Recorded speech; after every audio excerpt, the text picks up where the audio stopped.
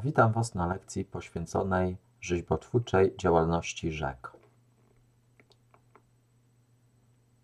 O czym dzisiaj będziemy mówili? Przede wszystkim powiemy o tym, w jaki sposób e, i jaką działalność prowadzą rzeki. E, zwracali będziemy przede wszystkim e, na aspekt erozyjnej tej działalności rzek, ale powiemy także o działalności akumulacyjnej. Rzeki oczywiście są czymś naturalnie występującym na naszej planecie, więc bardzo łatwo zobaczyć, w jaki sposób one e, modelują wygląd powierzchni Ziemi, w tym właśnie naszej planety. E, praktycznie niemal w każdym zakątku Ziemi te rzeki występują. Oczywiście jedynie wtedy jest problem, jeżeli jest zbyt sucho, bo tam faktycznie tych rzek jest mało, czy w ogóle ich nie ma. No i problem może być też wtedy, jeżeli e, jest zbyt e, zimno, bo to też powoduje, że tych rzek może być mniej, na przykład na Antarktydzie, chociaż tutaj troszkę chodzi o to, że nawet jak są te rzeki, to niekoniecznie płyną po podłożu skalnym ale to już abstrahując od tego, powiemy dzisiaj e, o niszczącej, o budującej działalności rzek i także o transporcie, który w tych rzekach jest e, i zachodzi. No i oczywiście, żeby rzeka cokolwiek mogła robić, to musi być w ruchu, prawda? Rzeka e, w samej definicji mówimy, że znajduje się w niej woda w ruchu, prawda? E, taka woda w, rze w rzece może przemieszczać się ruchem laminarnym, spokojnym. Oczywiście to pojęcie jest bardziej takie teoretyczne, bo ruch zupełnie laminarny, czyli taki, w którym to cząsteczki wody będą przemieszczały się w stosunku do sąsiednich cząsteczek równolegle, nawet idealnie równolegle, w sumie to nie jest realne do spełnienia, może gdzieś w laboratoriach. E, no ale chodzi o taki ruch, przynajmniej laminarny e, z wyglądu, prawda, gdzie widzimy, że mamy taflę wody i że te lustro jest tam e, niezaburzone. Jest to zupełnie inny ruch niż ruch turbulentny, czyli burzliwy, w którym cząsteczki przemieszczają się po ruchu kolizyjnym, e, gdzie ruch ten jest chaotyczny, krzyżowy, krzyżuje się z sobą. Bardzo często ten ruch też jest kolisty czy też wirowy. Co to jest wir wodny? Wir wodny jest to szybki ruch obrotowy cząsteczek e, wokół określonego miejsca. To wokół osi woda wiruje. Oczywiście na naszej półkuli e, wiemy, że woda wiruje w innym kierunku niż na półkuli południowej, tak jak w układach niskiego ciśnienia do środka, prawda? E, no i oczywiście, żeby się wydostać z takiego wiru, jak nie daj Boże bylibyśmy wciągnięci, to musimy pod kątem 45 stopni wyskoczyć po prostu, wcześniej dając się wciągnąć. Nurt rzeki. Nurt rzeki jest to ta część strumienia, która się przemieszcza z największą prędkością. Tutaj, jak widzimy na tym zdjęciu, e, ta największa prędkość nie zawsze musi być na środku, może być w różnych miejscach. W zależności od tego, jak rzeka nam płynie, czy meandruje, czy jest to rzeka górska, czy nizinna, więc to różnie bywa, a to, że tak naprawdę e, rzeka nie płynie idealnie prosto, tylko meandruje, krótko mówiąc, to wynika z siły Coriolisa. No i tym samym ta prędkość ruchu w tym korycie rzecznym, po pierwsze, gdzie powinna być największa? Największa na pewno będzie tam, gdzie będzie najmniejsze tarcie, a najmniejsze tarcie jest tuż poniżej powierzchni wody, w takim mniej więcej punkcie tutaj umiejscowionym, prawda? E, wyjątki oczywiście od tego reguły jak najbardziej są. Wystarczy sobie wyobrazić taką sytuację, kiedy bardzo mocno przemieszcza się wiatr, wieje wiatr, e, jest bardzo szybki, to co taki silnie wiejący wiatr może spowodować? Może spowodować dwie rzeczy. Po pierwsze, że taka woda w rzece tuż na samej powierzchni może przemieszczać się albo wolniej, albo szybciej, kiedy wolniej. Wolniej jak wiatr będzie wiał przeciwny do ruchu tej wody w tej rzece, prawda? Ale jeżeli będzie to kierunek zgodny w tym samym kierunku, to w tej chwili, w tym momencie taka woda na samej powierzchni będzie mogła być pchana jeszcze dodatkowo przez ten wiatr i przemieszczać się szybciej niż ta woda kilka, kilkanaście centymetrów poniżej lustra wody, więc to też zależy od y, takich różnych czynników. Oczywiście w przypadku różnych e, odcinków rzek, które e, cechują się takim idealnie prostolinijnym ruchem wody, największa taka prędkość, tak jak mówiliśmy, powinna być na środku, e, ale znowu, w, tak naprawdę wiadomo, że rzeka meandruje bardzo często. Jeżeli meandruje, to ten ruch na środku nie będzie najszybszy, tylko bardzo często albo w tym miejscu tutaj jak widzimy, czyli to jest takie miejsce, które będzie położone w pobliżu tak zwanych klifów rzecznych, tuż pod nimi, albo po drugiej stronie, jak będzie mm, no niejako po drugiej stronie, najpierw na środku, a później po drugiej stronie znowu w okolicach tych samych klifów rzecznych, czyli tak naprawdę tutaj e, raz od jednej, raz do drugiej strony będzie e, ona zmieniała e, swoje,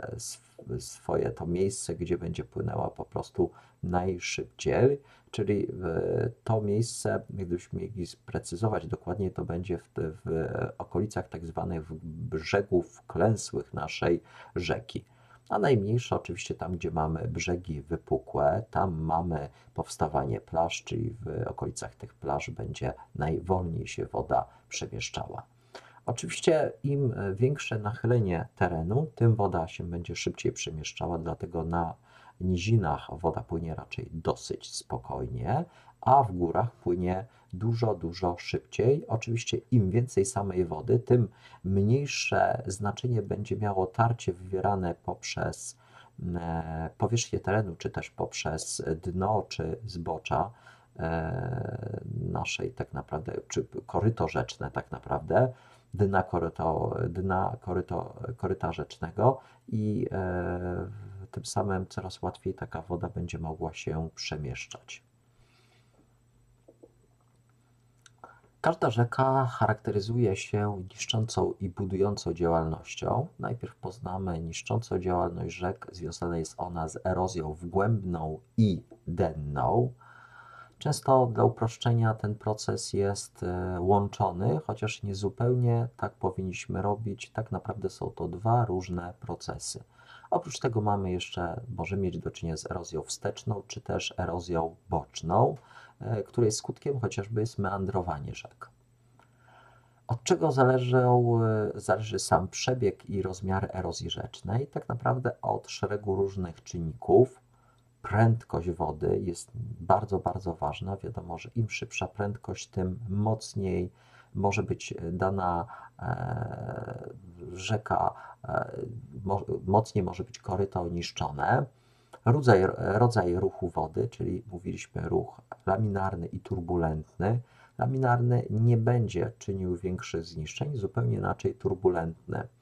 Dalej, ilości przemieszczanego i wleczonego materiału im więcej materiału, tym tak naprawdę z jednej strony łatwiej będzie daną rzekę usłać, zasypać, z drugiej strony no ten materiał po prostu będzie mógł rozcinać nasze koryto rzeczne.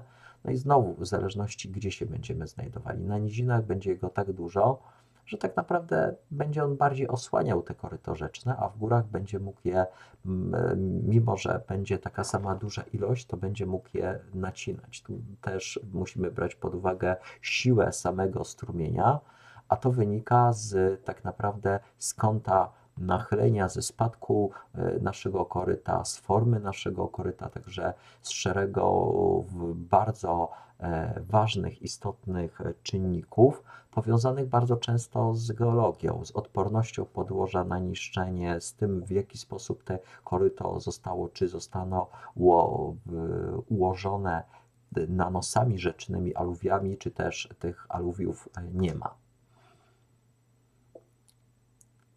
Przechodzimy do erozji wgłębnej. Erozja wgłębna, tu pierwsza cecha odróżniająca ją od erozji dennej, zachodzi i odbywa się w skałach litych, twardych, najczęściej w górach. Mogą to być przede wszystkim skały magmowe, metamorficzne.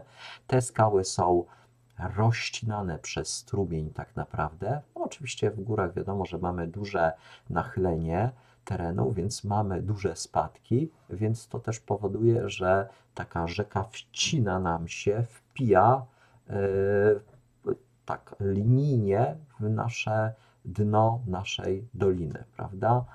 Oczywiście skutkiem tego jest powstanie kształtu V-kształtnego takiej rzeki, o czym za chwilę będziemy mówili.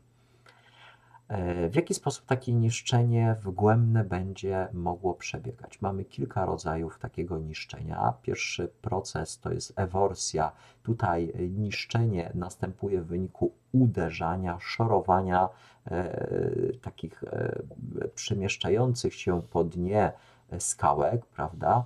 One się będą zachowywały dosyć specyficznie. Jeżeli taka skałka wpadnie w obniżenie, to następnie ona bardzo często zacznie wykonywać taki ruch wirowy, prawda? Ten ruch wirowy co będzie powodował? To będzie powodował, że za każdym razem taka e, skała będzie nam e, tak naprawdę mm, tarła o podłoże. Jeżeli będzie tarła o podłoże, to ten, e, ta nasza forma, te wgłębienie, ten kociołek będzie coraz to robił się głębszy. Tak jak powiedziałem, to wgłębienie określamy mianem tak zwanego kotła, ponieważ e, związane jest to z e, procesem, który nazwaliśmy e, eworsją, to też te formy nazywamy kotłami eworsyjnymi. Jak widzimy, te kotły eworsyjne mają dosyć charakterystyczny kształt. Po pierwsze, mogą być one dosyć głębokie, o czym za chwilę będziemy mówili.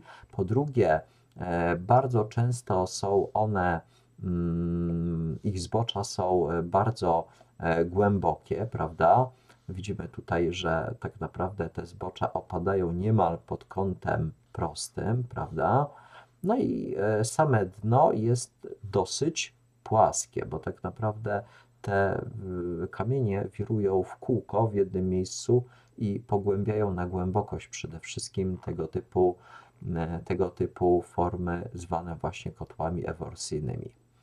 E, jeżeli takie kotły eworsyjne będą bardziej rozległe i płytkie, to nazywamy je misami eworsyjnymi, a jeżeli tego typu kotły eworsyjne, w cudzysłowie kotły eworsyjne, e, tak naprawdę formy rzeźby powstałe w wyniku eworsji będą w naszym e, strumieniu gdzieś miały taki przebieg bardziej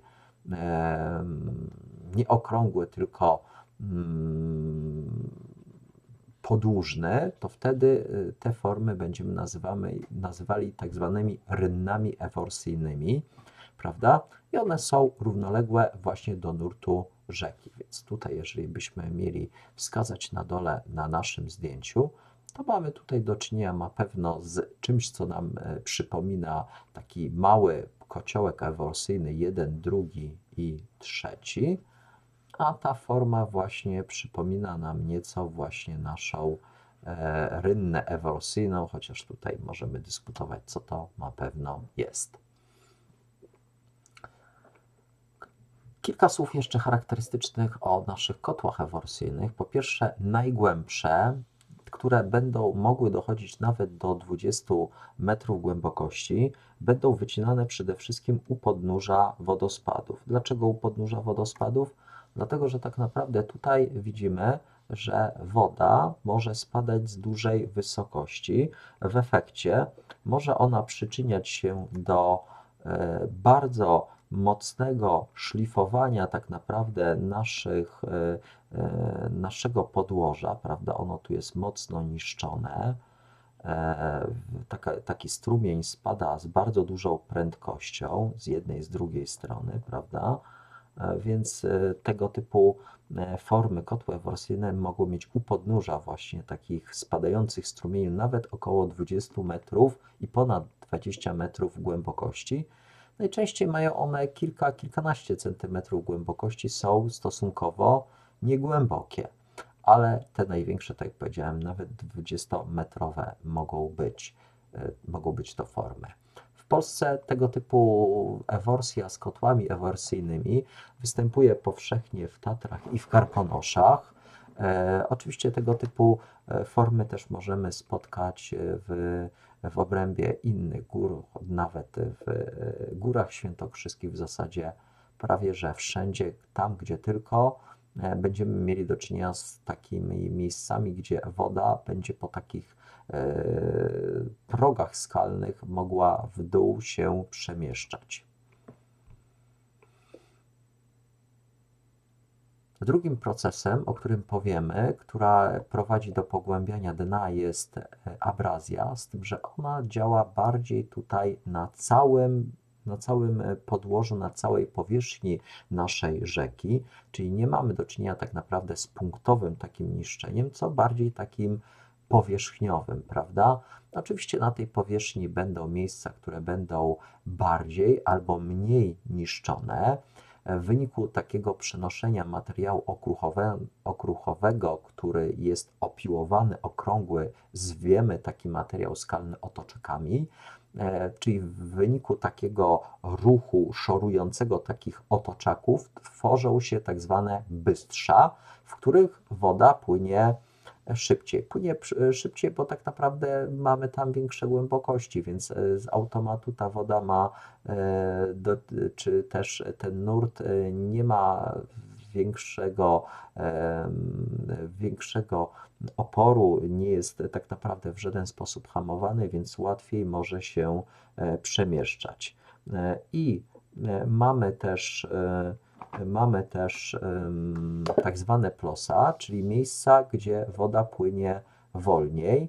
Najczęściej gdzieś z boku rzek to są jakieś takie płcizny, gdzie woda po prostu płynie szybciej i też jest to w, w takich miejscach położone, gdzie tutaj widzimy, że na, przez większość rzeki tak naprawdę nie ma jakichś wysepek, nie ma jakichś spowolnień, więc tutaj e, w środku, w tym miejscu zapewne rzeka będzie płynęła najszybciej, a tu gdzie jest opór, gdzie jest e, tak naprawdę Mm, gdzie jest e, dosyć nisko, e, to ta woda będzie płynęła znacznie wolniej.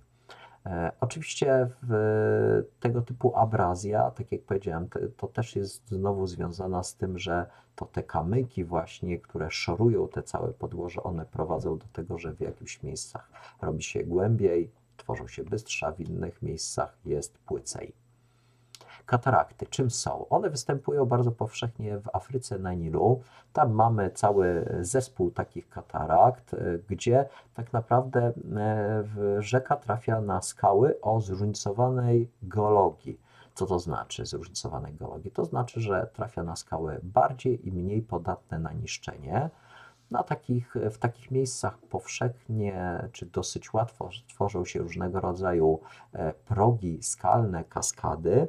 No i tak naprawdę w, poniżej tych progów skalnych e, właśnie mamy działanie i abrazji, eforsji i innych procesów e, erozji wgłębnej i wstecznej także i tego typu właśnie kaskady będą się tworzyły.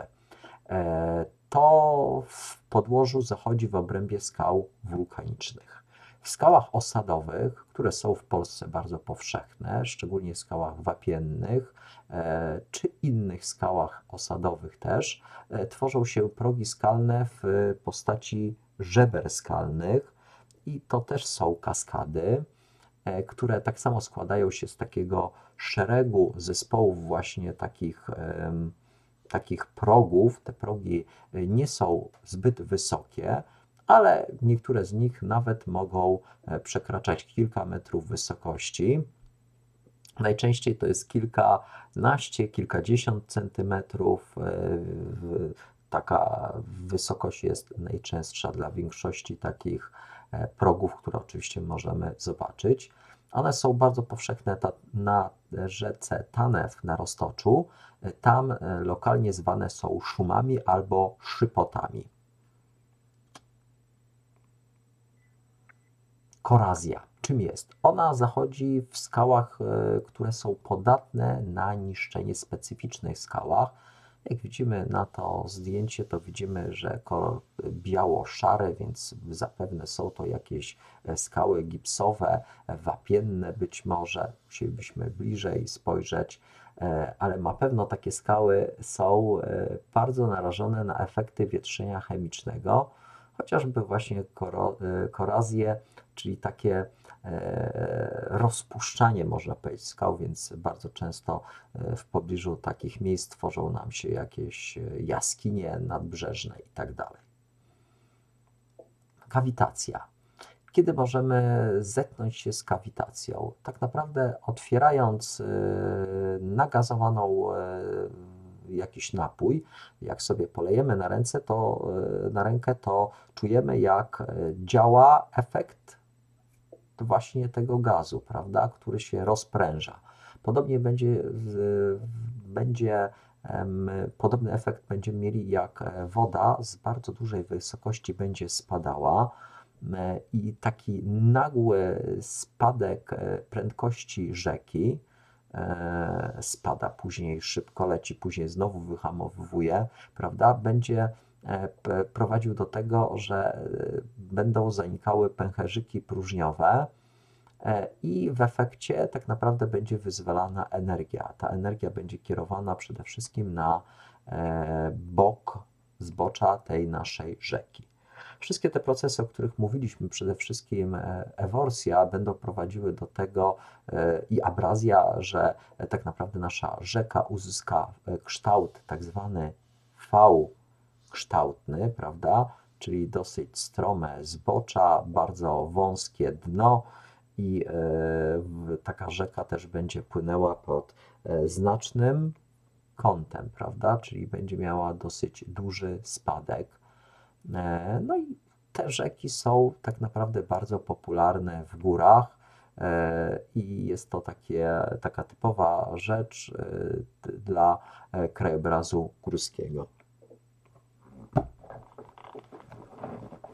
Kolejnym rodzajem erozji jest erozja denna ona wtedy będzie zachodziła, w odróżnieniu od erozji typowo wgłębnej, kiedy materiał, e, który znajduje się w rzece, to nie jest już tym razem materiał lity, tylko materiał luźny. Ten luźny materiał oczywiście niesie sama rzeka. Ta rzeka wysłania dno tym materiałem luźnym i z jednej strony ten materiał luźny jest dalej przemieszczany, ale z drugiej strony no, te dno, takie twarde dno, które gdzieś tam się pewnie pod, tym, pod tą rzeką znajduje, jest mimo wszystko odsłaniane e, i nasza rzeka w ten sposób w głąb w nieznacznym stopniu może być e, erodowana. Jeżeli do tego wszystkiego dorzucimy to, że większość naszych rzek jest po bokach obwałowana, to tak naprawdę taki materiał skalny, no to, to tylko się może gromadzić i nieco dalej przemieszczać bo kiedyś to jeszcze był, mógł być gdzieś kierowany daleko na pola, dzisiaj to z tym jest coraz to większy problem, czyli takie rozmywanie, wymywanie osadów w przypadku tej erozji dennej może następować takich, na takich odcinkach bardziej dzikich rzek, a na takich e, obwałowanych e, rzekach e, to, to jest raczej już dosyć ciężki proces, żeby mógł istnieć. Kolejny rodzaj erozji to jest erozja wsteczna. E, tu tak naprawdę chodzi o to, w którym kierunku ten proces będzie działał. Widać, że e, ta część wystająca tutaj, prawda, taka tak zwana gardziel e, skalna, która będzie właśnie powstawała poniżej tego progu wodospadu, będzie coraz to bardziej się przesuwała w kierunku ku źródłowi, e, źródle, e, ku źródłu naszej rzeki, prawda? No i w konsekwencji tak naprawdę, jeżeli będzie coraz to bardziej te miejsce podcinane, ta gardziel będzie coraz to bardziej wklęsła, to nasza, tak naprawdę nasz próg będzie coraz to róż obrywał się, prawda? Więc tak to się dzieje. Od czego się wszystko zaczyna? Zaczyna się od tego, że tak naprawdę na początku rzeka płynie po równym terenie, prawda? Ale mamy gdzieś jakiś uskok. Uskok od siebie może e, odgraniczać skały o większej odporności i skały mniej odporne, prawda? E, no i w efekcie w, te skały mniej odporne na niszczenie będą ulegały obniżeniu szybszemu, prawda? No i po pewnym czasie do czego to nam doprowadzi? No do takiej sytuacji, że tak naprawdę e, nasz, e, że będziemy mieli tutaj najpierw taki niski próg, prawda, skalny, ale ten próg będzie się coraz bardziej pogłębiał i tu już nie będzie miało znaczenia dalej, że w tym miejscu jest ten nasz, e, nasza wychodnia, ten uskok się znajduje, bo jeżeli powstał ten próg, to z góry będzie z dużą prędkością, z dużą siłą spadała woda. Im e, z wyższej wysokości będzie spadała, tym mocniej będzie mogła prowadzić do tego, że te miejsce będzie jeszcze to bardziej pogłębiane. Oczywiście taka woda z tego miejsca odbije się tutaj, więc e, tutaj też będzie mocno uderzała. Następnie skieruje się dopiero i będzie płynęła sobie dalej, prawda? I powtarzanie takiego procesu, czyli silnego spadania takiej e, wody z góry w dół, e, mocnego wycinania dołka, ten dołek określamy kotłem eworsyjnym, o czym już mówiliśmy, że one pod wodospadami mogą mieć nawet powyżej 20 metrów głębokości, będzie prowadziło do tego, że jeżeli coraz wyższa będzie wysokość, to też coraz wyższej wysokości woda będzie spadała z coraz to większą siłą i tym bardziej mm, i tym mocniej ten proces będzie mógł następować i przebiegać jeszcze z większą siłą. No i najbardziej znane wodospady w takiej totalnej pigułce, najbardziej znanym wodospadem jest wodospad Niagara tak naprawdę. Tutaj w tempie wynoszącym niecały 1 metr na rok taki wodospad się cofa. W zasadzie też mamy tutaj do czynienia z kilkoma progami, które wzajemnie się cofają. No i gdybyśmy chcieli poczekać 25 tysięcy lat, to ten proces się skończy, bo ta cała gardziel cofnie się w miejsce, gdzie się będzie znajdowało jezioro Erie. E, to też spowoduje, że tak naprawdę ten proces będzie musiał e, ustać po prostu. Kolejnym e, bardzo ważnym wodospadem, a w zasadzie będą to, będzie to zespół oddzielnych, odrębnych progów skalnych, w łącznej ilości około 275 takich progów. E, najwyższy z nich ma 82 metry wysokości. Znajduje się w e, Brazylii, a w zasadzie na granicy brazylijsko-argentyńskiej, prawda? E, no i w wodospad Iguazu został wycięty, czy w skałach e, też bardzo twardych, w skałach wulkanicznych. Oczywiście w niektórych miejscach tam są skały mniej podatne na niszczenie, dzięki temu to wszystko zostało e, wycięte, prawda? Mm, te wodospady w postaci takich całych kaskadów, e, kaskad wodospadów mm, wydają olbrzymi hałas, który słychać nawet w odległości 20 kilometrów najwyższym wodospadem na świecie, który ma około kilometra wysokości, jest wodospad Salto Angel. E, leciał sobie kiedyś e, pewien lotnik, e, który się nazywał Angel, nad tym miejscem i zafascynował się tym wodospadem i to też od tego lotnika, który 90 lat temu mniej więcej leciał sobie nad tym wodospadem, mamy tą nazwę.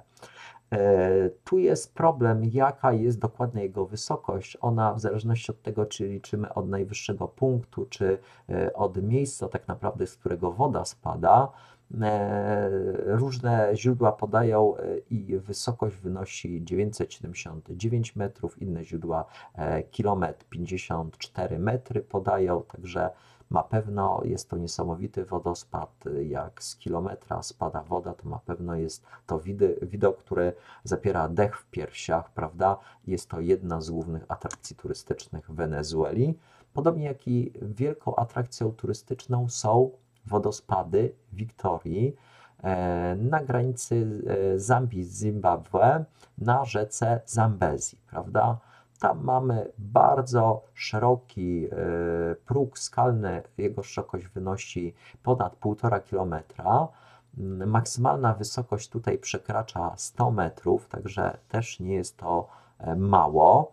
E, i też woda z bardzo wielkim hukiem e, w dół się przemieszcza i e, wyobraźmy sobie 9 milionów litrów wody na sekundę jest przemieszczana w dół, więc jest to olbrzymia ilość wody.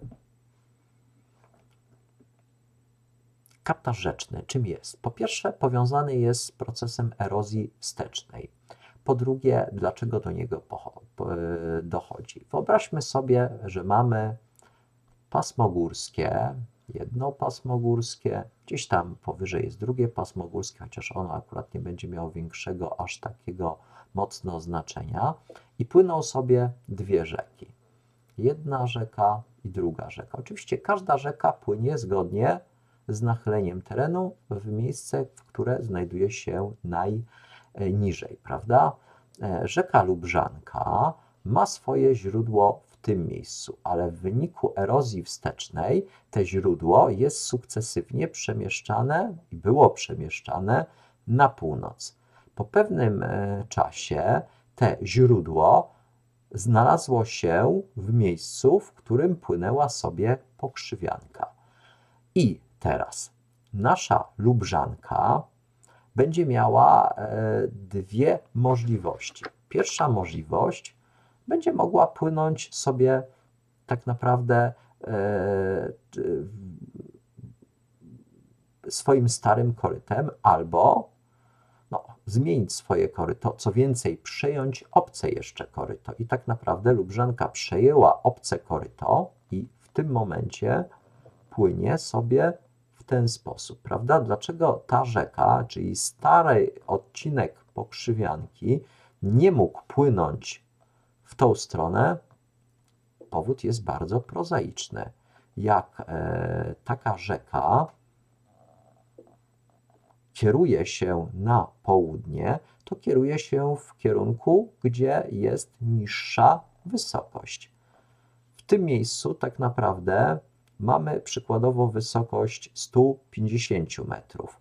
Tu mamy 160, e, przepraszam, tu mamy 145 metrów, a tu mamy za chwilę 140. To ona sobie popłynie tu, gdzie jest niżej po prostu. Nie będzie chciała popłynąć tu, gdzie jest wyżej. Więc ten odcinek rzeki nie był przez wiele lat wykorzystywany więc w efekcie tak naprawdę nie miało co dalej płynąć tą naszą pokrzywianką, i w efekcie tak naprawdę te e, nasze cieki nieco, można powiedzieć, wszystkie zmieniły swój kierunek i dostosowały się, krótko mówiąc, do nowych warunków. E, reasumując, na czym polega proces związany z kaptarzem? No, nastąpiło tutaj tak naprawdę przechwycenie obszarów źródliskowych jednej rzeki, czyli Lubrzanki, Lubrzanka przechwyciła e, obszar źródliskowy innej rzeki, czyli pokrzywianki. Dlatego mamy tak naprawdę tylko jedną Lubrzankę.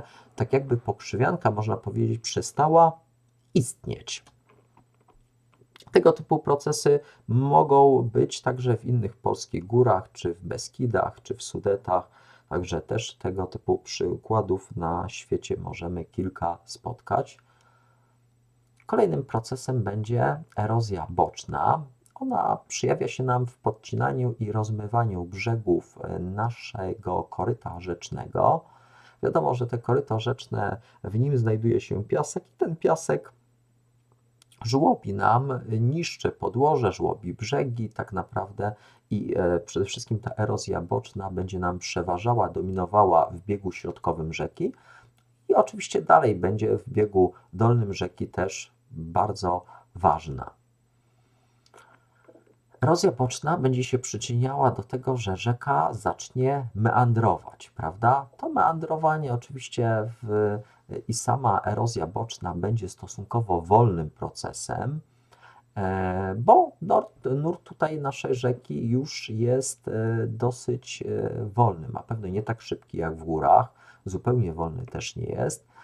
I rzeka, jak wiemy, będzie najbardziej erodowana, koryto rzeczne najbardziej erodowane w tym miejscu, gdzie rzeka płynie z największą prędkością. Tak jak mówiliśmy, przy brzegach wklęsłych ta prędkość będzie największa, czyli tutaj będzie największa. Przy plaży ta prędkość będzie nieco mniejsza. To też skutek będzie taki, że tak naprawdę e, w tym miejscu będziemy mieli punkty najgłębsze, czyli tuż poniżej tak zwanych klifów rzecznych e, i e, tam będą nam się tworzyły takie mocno wcięte E, w brzegi, prawda? Brzegi wklęsłe. A po drugiej stronie, tam gdzie będzie rosła nam coraz to sukcesywnie plaża, będą brzegi wypukłe. Brzegi wypukłe, bo oczywiście tego materiału skalnego tutaj nam się będzie gromadziło coraz to więcej. I po pewnym czasie tak naprawdę ta rzeka poszerzy sobie E, czy ten cały obszar, tutaj teraz zakres, które kryskuje, zostanie zniszczony, a ten po drugiej stronie obszar będzie sukcesywnie powiększany, prawda? Dzięki temu taka, e, taka szyja meandru będzie to sukcesywnie przemieszczała się stronę tego naszego, czy w tą stronę, w której e, mamy usytuowany nasz klif rzeczny, prawda? E, oczywiście w, w, przy gwałtownych wezbraniach taka masa wody może zacząć sobie płynąć. No, znowu pytanie, jak będzie chciała popłynąć woda. Woda wtedy będzie chciała popłynąć najłatwiej, jak będzie mogła, czyli nie będzie chciała płynąć sobie naokoło, za chwilę to jeszcze będziemy pokazy, e, pokazywali, tylko będzie chciała się przemieszczać e, po jak najkrótszej drodze, czyli tak naprawdę zacznie się sobie płynąć po prostu na skróty w ten sposób. Wtedy taka szyja meandru może zostać nacięta, no i w efekcie rzeka zmieni swoje koryto, prawda? Ale o tym też będziemy mówili. W każdym razie e, później dalej rzeka może meandrować i będą powstawały nam starorzecze, ale to za chwilę sobie pokażemy, jak one powstają. I widzimy tutaj na tej animacji, że nasza rzeka, e, zatrzymałem specjalnie, nasza rzeka e, sukcesywnie mm, sobie meandruje, prawda? Na początku płynie ona zgodnie z takim korytem mniej więcej. Prawda? Po pewnym czasie zaraz zaobserwujemy, jak te koryto będzie się w stosunku do tego oryginalnego koryta zmieniało. A, musimy cofnąć, przepraszam. To nie jest takie proste. Teraz nam będzie działała animacja. Widzimy, że to tak naprawdę się zmienia. Tu będzie bardzo ważny ten moment, bo w tym momencie rzeka coraz to bardziej tutaj e, tworzy sobie taki wklęsły, mocno wklęśnięty e, fragment, prawda? Dokładnie ten moment, prawda? I zobaczmy, do czego to dalej doprowadzi. Tu mamy to samo widoczne tak naprawdę. I jeżeli w tą stronę nasza rzeka będzie przemieszczana i po pewnym czasie będziemy mieli do czynienia z istnieniem bardzo dużej ilości wody w naszej rzece, to nasza rzeka zacznie płynąć sobie właśnie tędy, prawda? Zacznie płynąć tędy i tym uczęszczanym e, naszym korytem stanie się to nowe koryto, a to zostanie przekształcone w tak zwane starorzecze. Mam nadzieję, że to jest jasne. Jak nie, to za chwilę sobie to jeszcze pokażemy. Właśnie na tych trzech ilustracjach, których łatwiej to będzie widać, widzimy, że rzeka najpierw płynie pięknie, prostolinijnie. Te brzegi, które są najbardziej podmywane, przy nich tworzą się klify rzeczne, po drugiej stronie tworzą się plaże, prawda? czyli mamy plaża, a tu jest klif. E, woda e, przerzuca swój nurt z jednego brzegu na drugi e, brzeg, prawda? Ten nurt jest zmieniany. W efekcie teraz klif znajduje się w tym miejscu, a po stronie przeciwległej tym razem mamy plażę, prawda? Tu mamy klif. No i te brzegi tak zwane wklęsłe, czyli amfiteatry, prawda? Z amfiteatru możemy podziwiać, co się dzieje z całą e, naszą e, rzeką. Tam, gdzie mamy właśnie klify rzeczne, to tam obserwujemy powstawanie tak zwanych podciosów i nisz. Prawda, nisze, czyli takie miejsca podcięte przez tą rzekę. No i to prowadzi do tego, że tak naprawdę te klify się co jakiś czas e, tak naprawdę e, obrywają, prawda? I ten materiał e, trafia do rzeki i następnie jest rozmywany. W miejscu, gdzie woda płynie wolniej, tak jak mówiliśmy, tworzą się przy tym brzegu plaże, prawda? No i dalej sobie taka rzeka pięknie meandruje, te meandry są coraz bardziej rozwijane tą stronę, gdzie mamy ten klif, nasze, nasze brzegi się będą przemieszczały, powiększając i tworząc tak zwaną szyję meandru, wokół której czy w obrębie której powstanie łacha, czyli takie miejsce e, dosyć płytkie, okresowo zalewane, które jest tutaj położone, prawda? Taka okresowo zalewana plaża, inaczej mówiąc, najprościej mówiąc na razie w totalnym uproszczeniu. No i cóż, dalej rzeka sobie płynie normalnie, ale pojawia się nam bardzo duża ilość wody w takiej rzece. No i jeżeli dużo wody jest, ona płynie też wtedy ze znacznie większą prędkością, no to taka woda w takiej rzece ma do wyboru albo płynąć naokoło, albo sobie płynąć y, po i wybrać drogę łatwiejszą.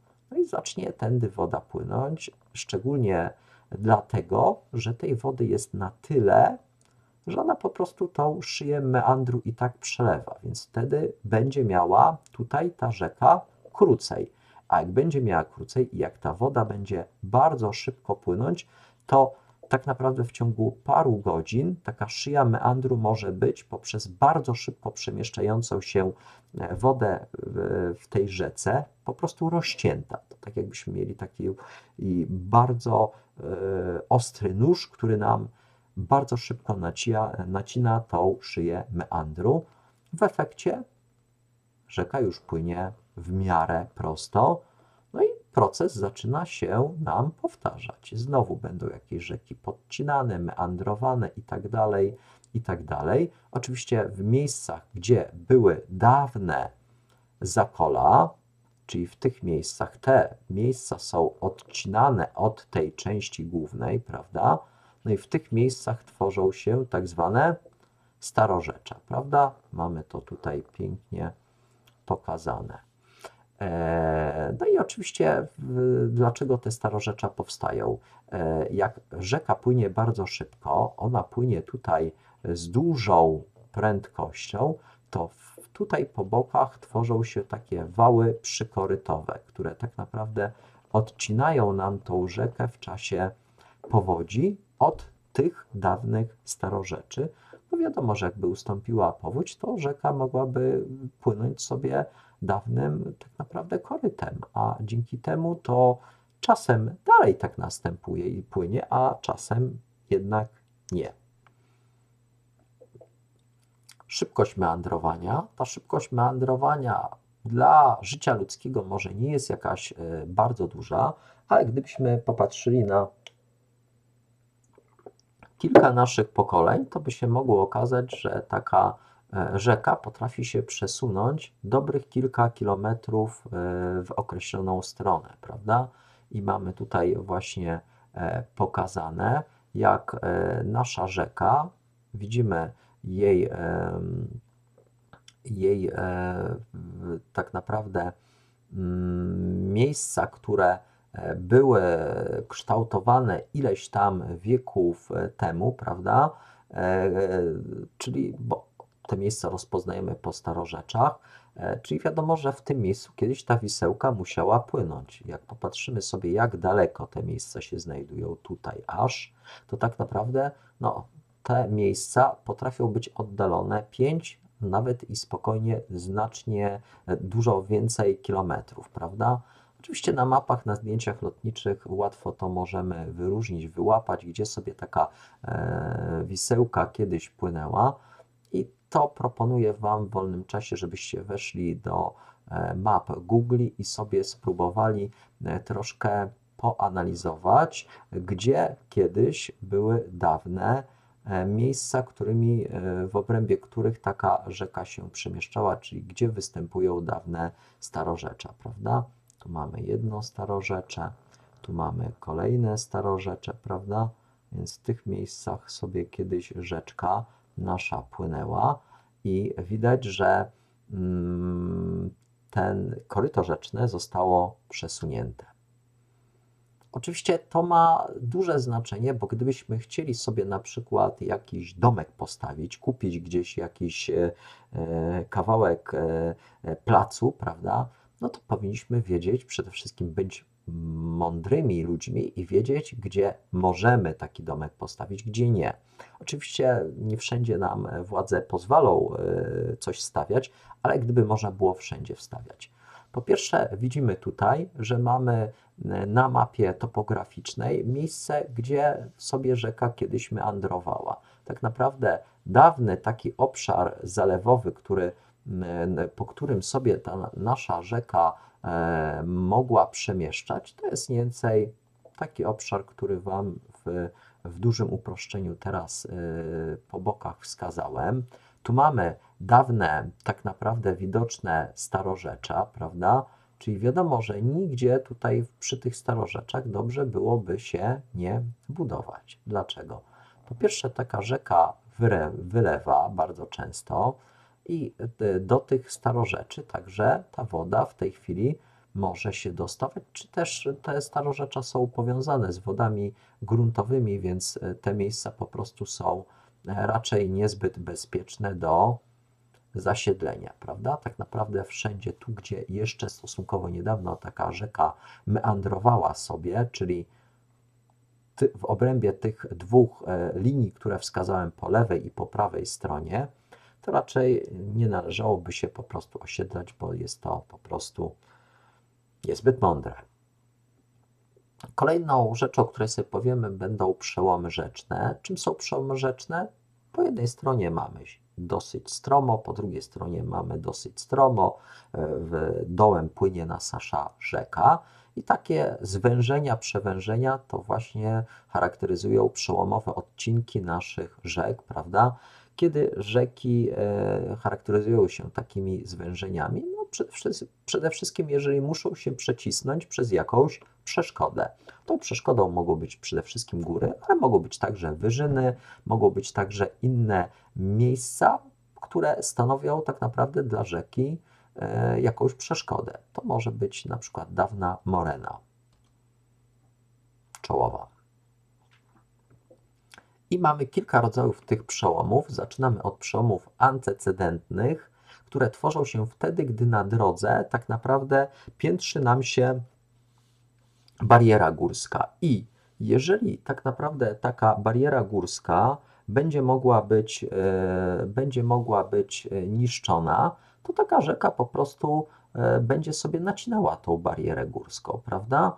E, dlaczego e, będzie ona raczej dążyła do tego, żeby nacinać barierę górską? Rzeka często postępuje tak jak uczeń.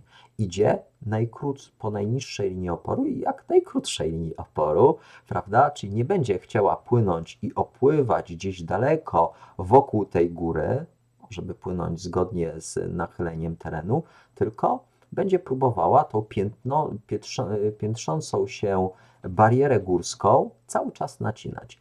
Dopóki będzie to nacinane szybsze od piętrzenia takiego łańcucha górskiego, będzie wszystko ok i faktycznie i taka rzeka będzie mogła tą barierę górską po prostu pokonywać i Dunajec, który przemieszcza się, przecina tak naprawdę pieniny, jest właśnie takim przykładem takiego przełomu antecedentnego. Kolejnym przełomem jest przełom epigenetyczny, genetyczny, bo odsłaniane jest starsze podłoże skał, które krótko mówiąc jest nacinane, napiłowywane. Wiadomo, że starsze podłoże może być w pewnych miejscach bardziej albo mniej odporne na niszczenie. Dlatego tak naprawdę takie stare struktury potrafią być nacinane, a pomiędzy nimi będzie się właśnie ta nasza rzeka gdzieś tam przemieszczała, prawda? I e, w przypadku e, Ameryki Południowej i Wyżyny Gujańskiej i rzeki Orinoco będziemy mieli z tym do czynienia. E, na masywie czeskim Dunaj też w ten sposób się w Europie zachowuje. Kolejnym rodzajem przełomów są przełomy przelewowe. Tutaj tak naprawdę mamy y, rzekę płynącą, pojawi się przeszkoda. Tą przeszkodą tym razem nie jest y, góra, ale jest inna przeszkoda. Co może być inną przeszkodą? Może pojawić nam się na przykład jakiś jęzor lawowy, prawda? I taka rzeka ten jęzor lawowy będzie chciała naciąć. Może to być e, tą przeszkodą tak naprawdę wał moreny czołowej. Może to być osuwisko, język osuwiskowy. Wszystko to będzie powodowało, że będzie tu jakaś sztuczna bariera, która albo zostanie nacięta i pokonana, albo znowu nasza rzeka będzie musiała ją po prostu opłynąć. Tu widzimy, że jednocześnie jak taka rzeka dopływa do tej przeszkody, to podnosi się poziom wody, prawda? Mówiliśmy o jeziorach e, zaporowych, to właśnie jeziora zaporowe są bardzo mocno powiązane z e, przełomami przelewowymi. I w Beskidach Środkowych chociażby mamy z tym do czynienia. O kolejnym rodzaju przełomów w zasadzie już mówiliśmy. Przełomy regresyjne to nic innego jak przełomy kaptażowe. Przypominam, kaptaż jest to przechwycenie obszarów y, źródliskowych jednej rzeki przez inną rzekę. Lubrzanka prze, przechwyciła pokrzywiankę i w ten sposób zaszło to, o czym mówiliśmy. Woda po prostu, mm, nie tyle woda, co rzeka po prostu mm, jedna przestała istnieć, pokrzywianka, a druga przechwyciła jej dawne źródło, prawda? Liczy się tutaj oczywiście ta rzeka, która ma większą siłę erozyjną e, i która e, w łatwiejszy sposób jest w stanie po prostu, można powiedzieć, podkraść te wody innej rzece. Przełomy odziedziczone. Czym one są? Na obszarze Polski jeszcze 12 tysięcy lat temu były z lodowacenia były lodowce. E, na przedpolu lodowców były takie wielkie, równolegle ciągnące się do czoła lodowca e, pradoliny. I dzisiaj rzeki typu Warta, Wisła w niektórych miejscach właśnie te odcinki dawnych pradolin wykorzystując, krótko mówiąc, odziedziczyły to, co zaszło jeszcze w niedalekiej tak naprawdę przeszłości geologicznej, bo 12 tysięcy lat temu w sensie istnienia naszej Ziemi to jest praktycznie nic, to to zostało odziedziczone i dzisiaj jest wykorzystywane przez Wartę chociażby.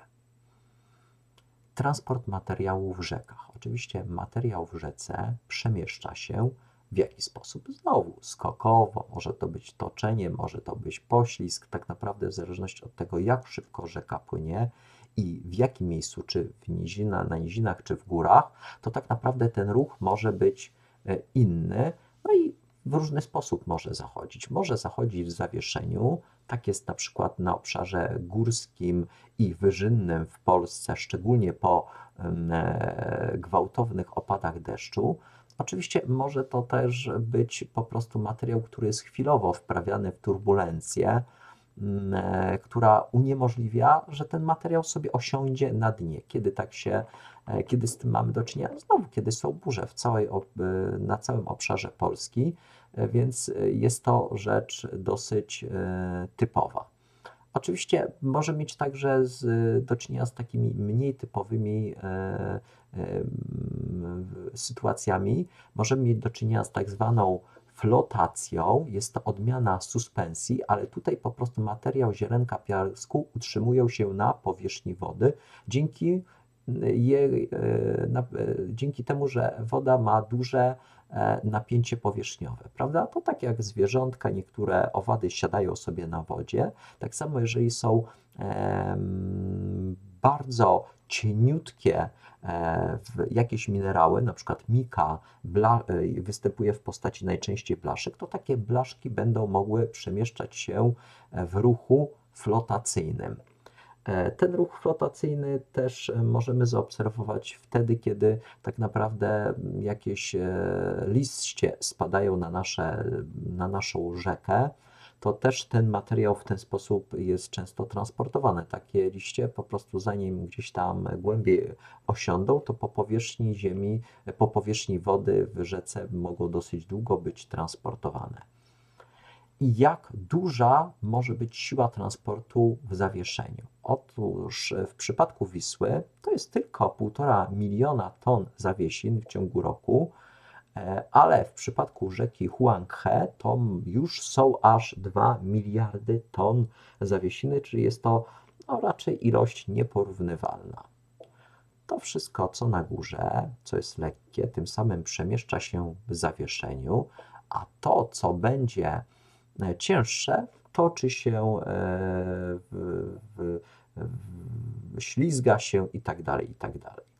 No i mamy tutaj właśnie rzekę Huanghe, inaczej mówiąc żółtą rzekę, która, e, dla której ta e, duża ilość materiału, który jest tutaj transportowany w, w zawieszeniu, wynika z tego, że przepływa ona przez teren wyżyny lesowej, prawda? Wyżyna lesowa, les jest materiałem plastym, który bardzo łatwo jest z taką rzeką unoszony i niesiony. No i dalszy rodzaj ruchów to transport skokowy, wleczenie i toczenie. Skokowy to wiadomo, odbija się, dalej leci, odbija się, dalej leci. Poślizg ma utrzymywany jest kontakt z podłożem.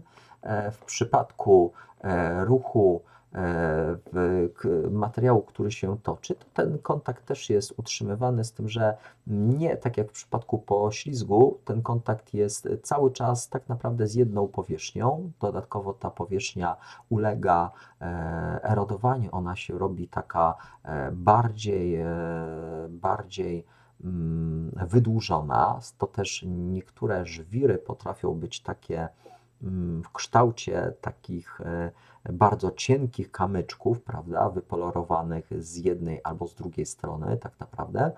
A materiał, który jest toczony, to po prostu jest przemieszczany i przylega z różnych stron do naszego podłoża.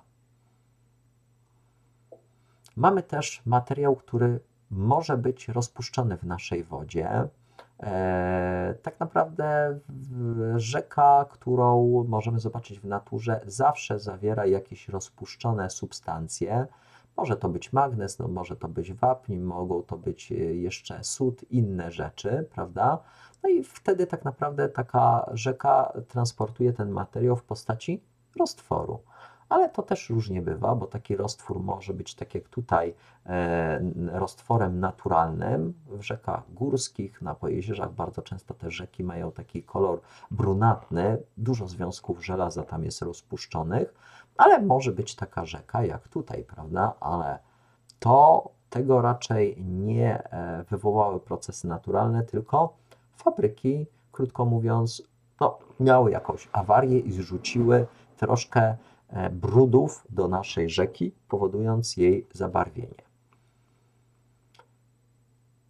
Ilość materiału transportowanego przez rzekę, ona oczywiście zależy od tego, z jaką prędkością płynie nasza woda, E, ale także zależy to od spadku terenu, od y, siły tarcia, od ilości wody, od tego, jakie mamy wymiary, czy w jakie kształty ma nasze koryto rzeczne. I tutaj mamy trzy podstawowe pojęcia. Po pierwsze, obciążenie rzeki, czyli cała ilość tego materiału, która jest przez rzekę transportowana.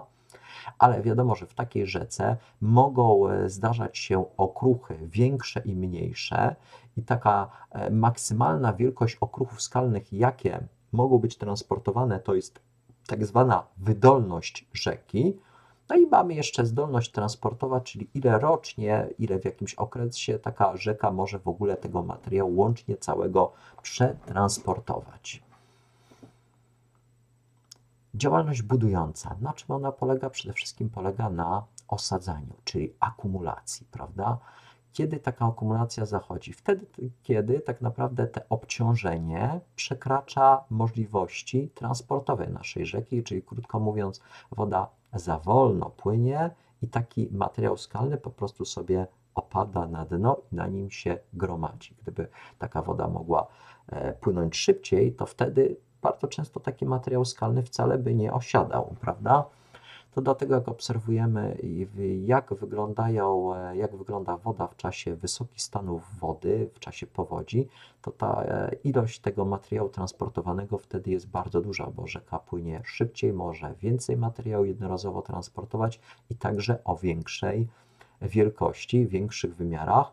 Oczywiście to zależy, tak jak mówiliśmy, od szeregu innych czynników, od spadku naszego koryta, od zmniejszania się masy wody w naszym korycie, od szerokości koryta, od tego, czy uchodzi do jakiegoś innego zbiornika wodnego. No i taka akumulacja materiału skalnego będzie prowadziła do powstawania takich łach korytowych. Takie łachy korytowe to nic innego jak takie wysepki, które jak okresowo są zalewane przez wodę, to wtedy je nazywamy tak zwanymi mieliznami. Tu widać panów, którzy sobie stoją na takiej mieliźnie. Widać, że w tym miejscu nam prześwituje mniej więcej piasek, prawda? Czyli tu jest faktycznie dosyć płytko. Zresztą, gdyby było w, tu kawałek dalej tak płytko jak w tym miejscu, w którym stoją, to nie wiem, czy oni by cokolwiek złowili. Działalność budująca rzek. Działalność budująca rzek polega także na tym, że podczas wezbrań powodzi taka woda z rzeki przelewa się e, ponad naszą, e, na, naszym, czy nie wykorzystuje zawsze naszego koryta, tylko płynie po całym tak naprawdę e, naszej dolinie, prawda? I jak płynie po tej naszej całej dolinie, to w obrębie naszej doliny ona może sobie płynąć po nowym obszarze. Tak jak mówiliśmy, taka szyja meandru może zostać nacięta i ten cały obszar, który zostanie przysłonięty e, materiałem będącym nanosem rzecznym, nazywamy łożyskiem powodziowym, prawda? No i w efekcie takie, takie łożyska powodziowe E, są miejscem, gdzie tworzą się bardzo często tak zwane baseny popowodziowe. Widzimy tutaj liczne baseny popowodziowe, miejscami sobie woda jeszcze potrafi kilka dni, tygodni tak naprawdę stać. E, przy takiej rzece i przy takiej, e, czy przy takiej rzece i pomiędzy tymi basenami tak naprawdę mm, popowodziowymi bardzo często tworzą się wały przykorytowe. One mają tak naprawdę e, ograniczać możliwość, żeby taka woda wróciła sobie do tej też rzeki. Tak się często właśnie aktywnie dzieje i tak e, to możemy zaobserwować. Ujścia rzek. O ujściach rzek już mówiliśmy, więc tak dla powtórzenia takiego szybkiego ujścia mamy lejkowate i deltowate.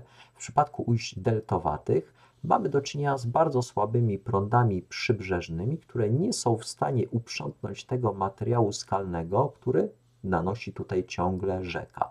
Więc on się tutaj gromadzi i coraz to bardziej taka delta nam się zaczyna wydłużać. E, no i oczywiście w ten sposób ten zbiornik jest coraz to bardziej skracany w efekcie, prawda? I miąższość takich osadów deltowych, które w takiej delcie potrafią być e, złożone, e, w przypadku niektórych rzek wynosi kilkadziesiąt albo nawet kilkaset metrów. W przypadku padu to jest to 220 metrów miąższość osadu. W przypadku e, rzeki Mississippi to aż 200, aż 600 metrów w głąb e, tego typu osady e, sięgają rzeczne.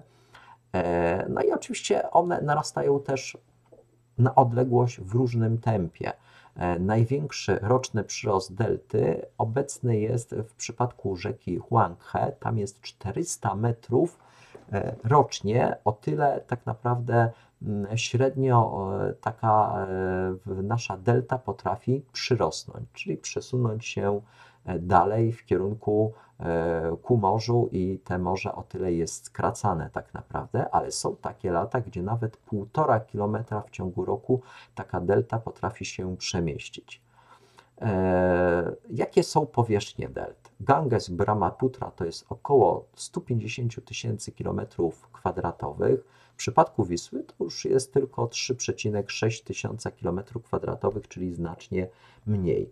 No i przykłady rzek o ujściu deltowatym, e, o ujściu delty, to jest m.in. Wisła, Nil, Amazonka, Orinoco, Mississippi, Wołga, Ganges, Huanghe, Niger i takich rzek oczywiście moglibyśmy wymienić wiele, wiele więcej. Łatwo je rozpoznać, jeszcze raz przypominam, na mapie wszędzie tam, gdzie E, w pobliżu naszego brzegu jest płytko, to znaczy się, że tam najczęściej mamy słabe prądy przybrzeżne i tam zwykle powstają właśnie delty. To jest charakterystyczne dla mórz śródlądowych, śródziemnych, takich jak na przykład Morze Śródziemne. Mamy też morza schowane tym samym i morza wysunięte takie morza, e, nie morza, przepraszam, tylko delty schowane, to między innymi delta Wisły, e, Sekwany, Loary, one po prostu gdzieś tam się za jakimiś e, mierzejami czy kosami chowają. W przypadku Wisły to mierzeja wiślana, prawda, i tak dalej, i tak dalej, są osłonięte, a takie delty wysunięte są po prostu mocno wysunięte w kierunku morza, prawda? Przykładem takim najlepszym jest delta mm, palczasta rzeki Mississippi. Palczasta, bo w postaci takich palców ona tak naprawdę jest e, budowana i jest taką deltą wysuniętą. Delty łukowe, wieloramienne, klinowe to są wszystko delty tak zwane wysunięte. w jaki sposób e, delta tak naprawdę mm, przemieszcza się. Oczywiście, tak jak mówiliśmy, najważniejszym elementem jest akumulacja osadu, więc e, tak naprawdę tu gromadzone zostały w pierwszym etapie e, w piaski, prawda, iły, różnego rodzaju inny materiał, który był tą rzeką przemieszczany. Później coraz więcej tego materiału było gromadzonego, prawda, aż w końcu miasto Trzew e, stracił dostęp do e, Morza Bałtyckiego. Następnie to samo stało się z Malborkiem. W kolejnym etapie to samo dotknęło Elbląg, prawda, e, tu też. No i w efekcie linia brzegowa uległa zmianie, bo ten cały obszar został wyścielony materiałem rzecznym, prawda, nanosami rzecznymi. Gdyby nie to, to mielibyśmy dalej Malbork i Trzew portami morskimi, a jak wiemy, to już w zasadzie nie są porty morskie. Ujścia rzek, ujścia lejkowate, estuarium inaczej mówiąc, one występują tam, gdzie mamy rzekę, która wpada do głębokiego morza.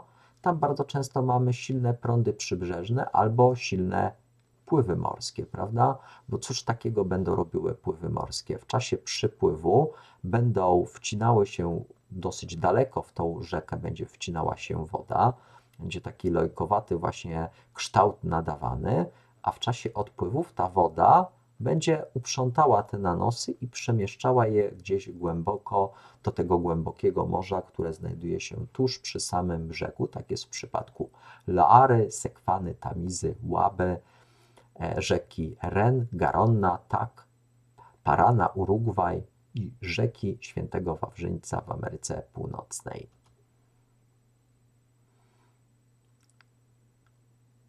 Kolejna rzecz to trasy rzeczne albo tarasy rzeczne. W jednej części Polski ludzie mówią terasy rzeczne, w, innym części, w innej części Polski tarasy rzeczne. Jednej i drugiej nazwy tak naprawdę możecie używać. I tutaj znowuż prowadzi do tego, do ich powstania erozja rzeczna. Erozja rzeczna, która się przyczynia do tego, że taka rzeka coraz to bardziej nam meandruje, kształtuje całą tą dolinę i tu właśnie tworzą się te terasy. Dlaczego one się też tworzą? Dlatego, że wraz z meandrowaniem zmieniają się też różne warunki, warunki klimatyczne i w takiej rzece może być więcej wody albo mniej. Jeżeli więcej, to ona może sobie wyżłobić takie szersze koryto, szerszą, krótko mówiąc, e, swój, szerszy swój poziom, prawda, szerszą terasę. E, no i tak się działo chociażby jak woda po zlodowaceniach spływała. Wtedy gwałtownie w ciągu kilkuset lat bardzo często topiło się kilkaset metrów lodowca nawet i kilka kilometrów, prawda? To też powodowało, że taka rzeka mogła być e, zasilana nie w taką ilość wody jak dzisiaj, ale dziesięciokrotnie, a nawet stukrotnie większą. To też taka e, dolina powstała czy, w, czy ukształtowana w czasie takich zlodowaceń mogła być znacznie szersza. Do tego jeszcze wrócimy. No i oczywiście w takiej każdy każda taka dolina e, powstała w jakimś różnym okresie, może charakteryzować się takim różnym e, czy innym schodkiem, prawda?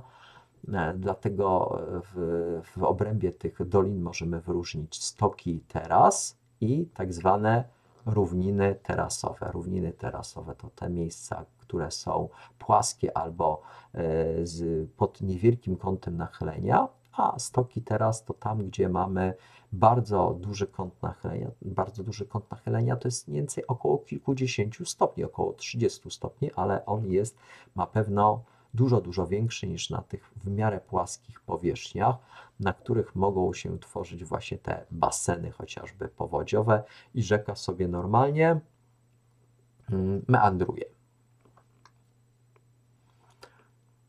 No i jakie mamy rodzaje teras rzecznych i z czego one wynikają? Wynikają one z siły erozji bocznej, wgłębnej i z akumulacji osadów rzecznych i to wszystko będzie prowadziło do powstania takich teras jak terasy osadowe akumulacyjne. One, te terasy osadowe akumulacyjne zbudowane są głównie z piasków, czyli rzecznych, czyli takiego e, łatwo niszczonego i przemieszczanego przez rzekę materiału skalnego ten materiał skalny naszą tą, e, nasze koryto przysłania. Mamy też terasy erozyjne. No, erozja zachodzi głównie w skałach litych, najlepiej tam jest widoczna i taki każdy schodek reprezentuje, mm, krótko mówiąc, dolinę w innym swoim położeniu w czasie innego, e, innego okresu. Te okresy, tak jak Wam mówiłem, to też mogą wynikać z tego, że ta ilość wody w tej naszej rzece też będzie się zmieniała. I bardzo często też takie terasy przemienne występują, czyli e, akumulacyjno-erozyjne. Tutaj e, mamy najpierw e, dużą siłę erozji podłoża, następnie te, te zerodowane podłoże jest przysłaniane, e, wypełniane osadami rzecznymi, znowu ponownie jest erodowane, znowu przysłaniane i ten proces się wielokrotnie powtarza. Jakie mamy rodzaje teras rzecznych? Mm, znowuż, zanim o tym powiemy, to jeszcze musimy sobie wprowadzić pojęcia tak zwanej bazy erozyjnej i tak naprawdę obniżenie bazy erozyjnej, czyli poziomu wszechoceanu, prowadzi do tego, że tak naprawdę rozcięcia doliny rzeki e, no, będą dążyły do tego nowego poziomu równowagi. Inaczej mówiąc, e, poziom wszechoceanu nam obniża się o 100 metrów, no to taka rzeka jeszcze 100 metrów niżej będzie mogła swoją dolinę poprowadzić, prawda? E, oczywiście może też nastąpić podniesienie bazy erozyjnej, no, kiedy ta rzeka, e, kiedy ten e, poziom wszechoceanu pójdzie nam w górę. I tak naprawdę, jak popatrzymy sobie na e, to, co się dzieje na przestrzeni ostatnich lat, to to on się, ta podstawa erozyjna nam się ciągle zmienia. Jakie mamy typy teraz? Mamy tak zwaną terasę zalewową, która jest obecnie tak naprawdę kształtowana, terasa powodziowa, która jest kształtowana w czasie e, powodzi najczęściej, które występują raz na jakiś czas i tak zwana terasa nadzalewowa pleistoceńska. Najpierw zaczniemy omawiać właśnie tą terasę pleistoceńską. Pleistocen to jest okres, w którym występowały zlodowacenia i te zlodowacenia, tak jak już mówiliśmy, e, charakteryzowały się tym, że na obszarze Polski były olbrzymie e, lodowce. I z tych lodowców woda się wytapiała i następnie przemieszczała się dolinami rzecznymi. I ponieważ dużo więcej takiej wody mogło się topić nic, niż obecnie, to takie terasy są tak naprawdę dużo, czy takie doliny rzeczne były dużo szersze. Ich szerokość mogła wynosić kilka e, dobrych kilometrów, nawet powyżej 10 kilometrów, e, a dzisiejsze doliny rzeczne to tak naprawdę są dużo węższe, prawda? Dzisiaj wody e, w rzekach jest dużo mniej, więc one nie potrzebuje aż takiej szerokości wielkiej, żeby meandrować sobie. E, a wiadomo, że po wielu latach każda taka dolina rzeczna co robi? No, w głąb chce się przemieścić, prawda? I się przemieszcza w głąb, więc taki materiał skalny stąd jest uprzątany w ten sposób. Ten stopień terasy zalewowej znajduje się najniżej i jest zalewany wtedy, kiedy mamy na przykład większe coroczne wezbrania. One występują kilka razy w roku. U nas co roku to się pojawia na wiosnę. Co roku nam się pojawiają takie większe opady deszczu, które skutkują większymi wezbraniami w lecie. A kiedy te wezbrania są ekstremalnie duże, to dochodzi także do powodzi, i wtedy te powodzie potrafią wylewać nam się na kolejny taki schodek, który nazywamy tak zwaną terasą powodziową. I ta terasa powodziowa właśnie jest kształtowana w czasie powodzi przede wszystkim. Jakie mamy podstawowe elementy naszej Doliny Rzecznej? Do podstawowych elementów Doliny Rzecznej zaliczamy po pierwsze koryto, po drugie, czyli miejsce, w którym płynie sobie nasza rzeka, ciek wodny, po drugie łożysko rzeki, ona znajduje się nieco powyżej koryta rzeki, E, i przy wysokich stanach wody tak naprawdę te, e, te łożysko jest e, przysłaniane. No i jeszcze mamy całą Dolinę Rzeczną, czyli całą, całą formę, która w jakimś stopniu jest wklęśnięta i jest to wszystko powiązane z działalnością tej rzeki, która teraz płynie albo która kiedyś płynęła, to nazywamy to właśnie Doliną Rzeczną, pamiętając o tym, że w przypadku rzek lodowcowych tej e, wody w tych dolinach było znacznie więcej, dlatego są one szersze. E, w jaki sposób następuje rozwój dolin rzecznych? Tak jak mówiliśmy, omówiliśmy to myślę dosyć dokładnie. E, woda w rzece jest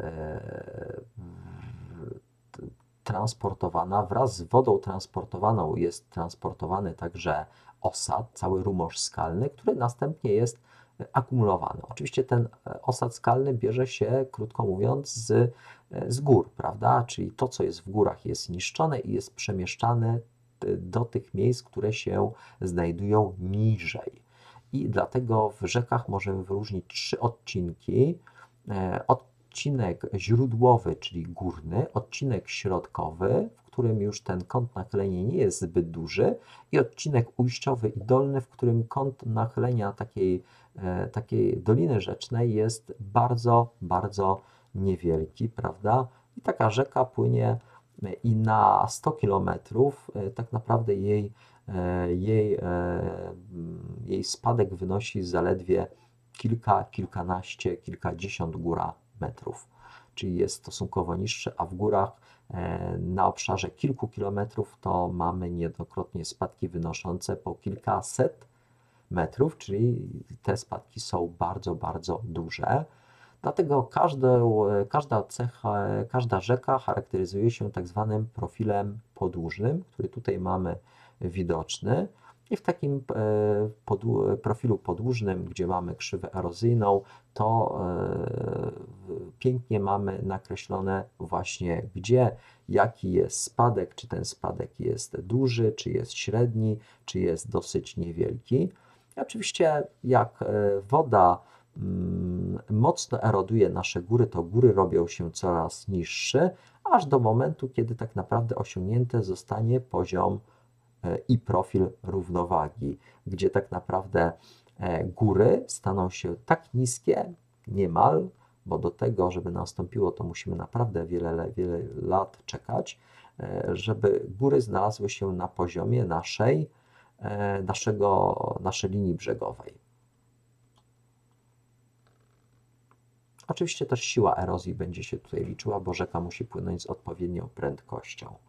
To też na dzisiejszej lekcji powiedzieliśmy sobie mm, o erozji e, wgłębnej, erozji dennej, o e, abrazji, eworsji, kaptażu, akumulacji itd. Tak I to wszystko nam pozwala wyróżnić trzy odcinki: górny, środkowy i dolny. I jeszcze raz, erozja wgłębna i denna zachodzi głównie w biegu górnym, chociaż denna także i w biegu środkowym.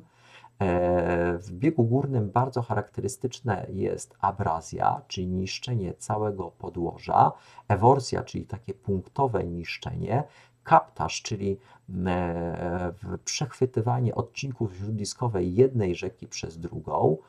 No i oczywiście transportowany jest materiał skalny. Ten materiał skalny to otoczaki, które są obtaczane, Oczywiście materiał skalny jest selekcjonowany. To, co ciężkie, raczej nie jest transportowane, raczej jest obtaczane, a to, co lekkie, jest łatwiej przenoszone, a nawet, yy, yy, nawet jest transportowane przez wiele kilometrów yy, przez rzekę i on po prostu się ten materiał skalny wtedy unosi. Oczywiście, jakie formy będą charakterystyczne dla biegu górnego, o tym też mówiliśmy. Formy wklęsłe, takie miskowate misy, głębokie kotły, równoległe do podłoża rynny eworsyjne. Mogą to być progi skalne, najwyższe progi skalne wodospady. E, mogą to być katarakty występujące w, Afry w, Afryce, czy też żebra skalne, e, na przykład szumy szypoty, które obecne są na roztoczu. Mogą to być doliny V-kształtne, które są typową e, formą rzeźby dla każdych gór. No i oczywiście otoczaki, o których już wspomniałem. W biegu środkowym mamy przede wszystkim akumulację, tak samo jak i w biegu dolnym. E, w biegu środkowym przede wszystkim przeważa erozja boczna, która tak naprawdę mm, zmniejsza się dopiero przy samym ujściu. Jest oczywiście materiał skalny transportowany i dalej jest selekcjonowany i w zasadzie przy w biegu dolnym już nie mamy jako takiej selekcji materiału skalnego, bo tutaj przede wszystkim rzekami jest już przemieszczany najdrobniejszy materiał skalny i on już się nie ma na co tak naprawdę przeselekcjonować. E, no i co jest kształtowane? Meandry starorzecza, klify rzeczne, plaże rzeczne, bystrza i plosa. A przy y, biegu dolnym powstają delty i estuaria, które są wynikiem tego, że tak naprawdę tu już mamy tak naprawdę głównie akumulację prowadzoną. No i przechodzimy króciutko do morfogenetycznego znaczenia deszczu. Będziemy o tym mówili dosyć krótko, bo e, z roku na rok ten materiał jest coraz to mniej istotny do przygotowania się na maturze, ale żebyśmy lepiej pewne procesy zrozumieli, to przynajmniej dobrze, żebyśmy mieli jakieś podstawowe pojęcie. I co taki deszcz może robić? Taki deszcz spada z dużą prędkością i uderza w ziemię. Gdybyśmy byli takim małym robaczkiem, to jakbyśmy obserwowali jako taki 2-3 mm robaczek, to byśmy byli przerażeni. Byśmy widzieli, jak takie kropelki mocno bombardują nasze podłoże naszą roślinność i wszystko to, co jest usytuowane.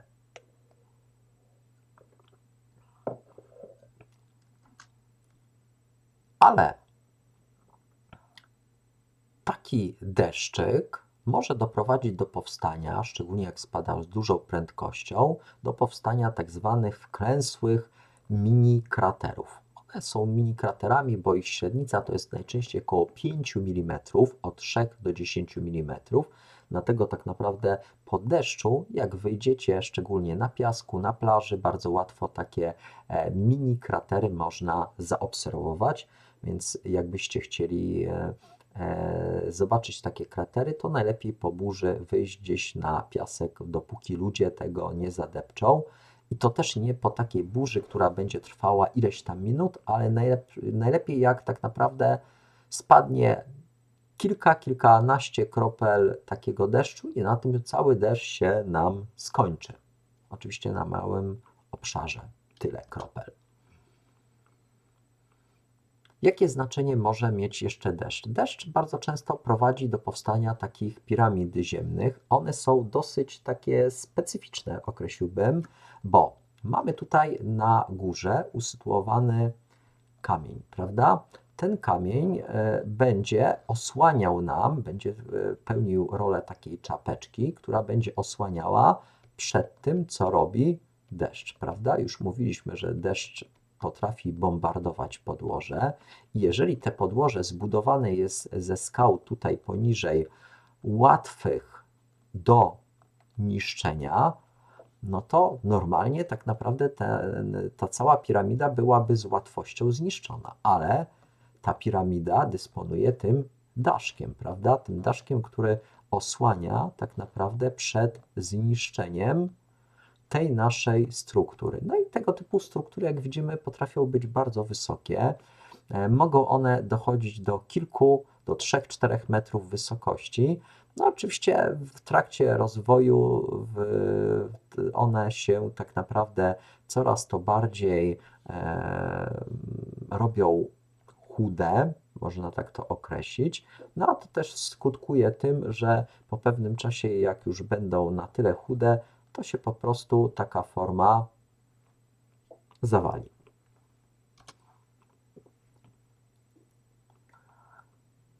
Dosyć, dosyć ciekawym procesem jest także sufozja i spływ śródpokrywowy. Takie, w, oczywiście taki spływ y, śródpokrywowy to ma duże znaczenie. On zachodzi pomiędzy tak naprawdę E, wchodzi w interakcję z pomiędzy wodą a podłożem skalnym. W sposób chemiczny mamy e, przechodzenie do roztworu tej całej substancji mineralnej, która będzie w, tym, w tej skale zawarta i będzie po prostu zmywana. I taka substancja potrafi być ługowana, po prostu jest wymywana z naszej gleby.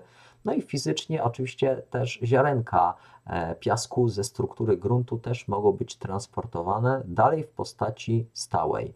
Więc nie mamy tutaj do czynienia z wietrzeniem chemicznym, jak mieliśmy tam rozpuszczanie, tylko mamy tutaj do czynienia z e, wydostawaniem się tych cząsteczek z ich miejsca, w którym przebywały. No i taki śród, e, spływ śródpokrywowy łatwo dostrzec po większych opadach deszczu, gdzie tak naprawdę całym tym rozlewiskiem nasza woda się przemieszcza gdzieś w dół, prawda? E, nie ma tutaj, widzimy na tym odcinku takiego bardziej utrwalonego, ułożonego spływu, tak zwanego linijnego, tylko taką całą powierzchnią ta sobie woda spływa. Bardzo często po dużych opadach deszczu ta woda, zanim przybierze taki uporządkowany bardziej charakter, zwykle na przykład przy krawężnikach, to ona przemieszcza się taką całą jednolitą taflą. No i sufozja jest rodzajem tak zwanej erozji tunelowej. E, mamy sobie jakieś wcięcie, prawda? Następnie w te wcięcie, w te pęknięcie dostaje się woda. Taka woda sobie tutaj tak naprawdę dalej przesiąka się pod, przez drugą warstwę. Te wcięcie coraz to robi się takie większe, no i w efekcie ta woda przemieszcza się następnie pod ziemią, prawda? W warstwie przepuszczalnej, czyli na przykład w obrębie jakichś piasków, prawda? I tymi piaskami się przemieszcza. No i oczywiście takie wcięcie po wielu latach może nam się nieco powiększyć. No i oczywiście w różnych e, miejscach to różnie może przebiegać, bo bardzo często nie mamy do czynienia z istnieniem warstwy nieprzepuszczalnej, po której to się od razu przemieszcza. Czasem może być tak jak tutaj, że taka warstwa przepuszczalna zostanie mm, pokonana jedna i dopiero po drugiej tak naprawdę ten spływ będzie następował, a czasem może od razu w obrębie naszej struktury następować i gdzieś tam będą miejsca mniej odporne na niszczenie, które będą predysponowały ten nasz e, e, podziemny potok do tego, żeby tam się zaczął tworzyć. W efekcie powstanie dziura, prawda? Którą, e, czyli taki tunel, który będzie coraz to bardziej poszerzany i którym taka rzeka będzie mogła się przemieszczać. I tu zobaczcie, właśnie mamy efekt właśnie takich, takich otworów, które powstały w wyniku sufozji i erozji tunelowej. I oczywiście sufozja tunelowa, erozja tunelowa, czyli sufozja, bardzo często będzie dobrze widoczna w utworach pyłowych, czyli w lessach, prawda? I tutaj sobie mamy pana, e, który siedzi właśnie na takich e, strukturach, które wcześniej były ukształtowane poprzez wymywanie, prawda, poprzez erozję tunelową. E, to miejsce znajduje się na Pomorzu. E, to miejsce to groty mechowskie. Na Pomorzu to raczej nie spodziewalibyśmy się jaskiń, a jednak w wyniku działalności tej erozji tunelowej tam z jaskiniami mamy do czynienia i jest to jedna z większych atrakcji turystycznych właśnie na e, Pomorzu. Więc jeżeli będziecie w Gdańsku, w Trójmieście, to E, kilkadziesiąt kilometrów na zachód znajdują się właśnie groty mechowskie i możecie je jak najbardziej zwiedzić. E, bardzo podobne formy także występują na południu Polski w Sudetach. Tam tworzą się także płytkie niecki zwane wymokami. E, na ich, u ich wylotów tworzą się stożki napływowe, takie w kształcie takiej pseudo-delty rzecznej, tylko oczywiście tutaj e, nasz potok wypływa e, na taki płaski teren, więc dlatego e, tego typu formy nam się będą tworzyły, prawda? Mamy je tutaj chociażby widoczne, prawda? Jedna, jeden lejek, drugi lejek, tu też widzimy tego typu, prawda? A pomiędzy tymi lejkami oczywiście E, mamy te formy, z których e, w wyniku którego e, wymywania, w wyniku istnienia sufozji powstały w ogóle te malownicze formy, prawda? Głazy krasnoludków, bo faktycznie coś do krasnoludków to możemy, możemy się tutaj w każdym razie gdzieś jakieś dopatrzyć krasnoludków. E, no i lej sufozyjny. No, widzimy, że mamy tutaj do czynienia z takim obniżeniem, prawda? Więc te obniżenie e, właśnie to jest skutek tego, że poniżej ten teren został obniżony. On się po prostu zapadł nieco, bo e, wody podziemne, krótko mówiąc, uprzątają ten materiał skalny nam dalej. Lecimy dalej. Lecimy dalej i przechodzimy do spływu powierzchniowego. Spływu powierzchniowego, który, tak jak mówiliśmy, woda się przemieszcza najpierw w takiej e, układzie nieuporządkowany całą powierzchnią, ale dąży do tego, żeby przyjąć tak zwany odpływ linijny. Jak mamy rzeki, to widzimy właśnie, e, że woda tam się przemieszcza w sposób chociażby linijny. E, do czego to nam prowadzi? Do tego, że mamy do czynienia tym razem już ze spłukiwaniem tak zwanym bruzdowym, żłobkowym czy rennowym i e, ono będzie prowadziło do tego, że jak coraz to większy będzie strumień, to nasza forma będzie się robiła z jednej strony coraz to bardziej szeroka, z drugiej strony coraz to bardziej głęboka, prawda?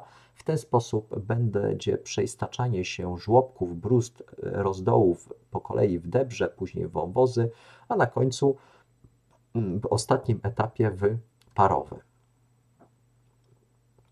No i tu mamy efekt właśnie takiego spłukiwania bruzdowego. Widzimy, że te skały są ponacinane takimi rowkami. Takie rowki to rynny, które właśnie są żłobione przez wody opadowe. I znowu charakterystyczna cecha tych y, rynienek, że one są prostopadłe do naszego podłoża, mniej więcej prostopadłe, prawda? Więc y, tak to możemy rozpoznać. Tego typu erozję brustową możemy podziwiać w Stanach Zjednoczonych gdzie mamy tak zwane badlandy, gdzie tego typu formy są czymś typowym. Chociażby. Żłobki deszczowe to krótko mówiąc takie rynienkowate nacięcia, które powstają na samym początku. E, zaczyna się tak jak Wam mówiłem, e, czyli woda spływa takim całym potokiem, e, ale już po pewnym czasie ona sobie szuka jakichś takich swoich tak naprawdę miejsc, którymi mogłaby się przemieszczać i tworzone są właśnie takie nacięcia, którymi ten odpływ jest prowadzony, prawda? Więc ten odpływ widać, że już jest coraz to bardziej taki uporządkowane. Oczywiście te nacięcia, którymi wody się najwięcej e, przemieszcza, one będą jednocześnie najgłębsze. I e, u wylotu takich żłobków mogą się nawet stworzyć e, stożki proluwialne, z połączenia których mamy całe równiny proluwialne. No i oczywiście te nasze żłobki deszczowe poddzielane są od siebie najczęściej takimi bardziej wypukłymi, chociaż to jest tutaj mało widoczne, żeberkami, prawda? Na pewno te żeberka tu już będziemy widzieli faktycznie takie miejsca wypukłe, prawda? A te miejsca wklęsłe to właśnie żłobki, prawda? E, I mamy tutaj właśnie te mm, powstające u podnóża, e, tutaj szczególnie E, stożki, prawda? Wachlarzowe formy, które powstają na sam, u samego podnóża wylotu tych naszych brust. One się oczywiście później łączą, tak jak mówiliśmy. Kolejną formą będą rozdoły, tak naprawdę tu dalej mamy bardzo podobne zdjęcie, właśnie Badlandy mamy pokazane. W Badlandach będą różnego rodzaju formy występowały, więc te formy tu w tym przypadku już na tym zdjęciu są nieco bardziej głębokie. Widać, że te rynienki już mają nawet miejscami kilka metrów głębokości, a gdybyśmy popatrzyli sobie tutaj w dół, to byśmy zobaczyli, że mamy tutaj ciągnące się wiele kilometrów wąwozy. O tym jeszcze będziemy sobie mówili później. Na razie mówimy o tym, co się dzieje tutaj na zboczach. Tutaj na zboczach powstają coraz to głębsze właśnie rozdoły e, i one e, powstają najczęściej w skałach pylastych, także i lesowych, które są słabo obrośnięte roślinnością. Tak naprawdę gdybyśmy, gdybym Was zapytał, kiedy w Polsce zaczęły powstawać wąwozy, byście powiedzieli pewnie, oj, wiele tysięcy lat temu.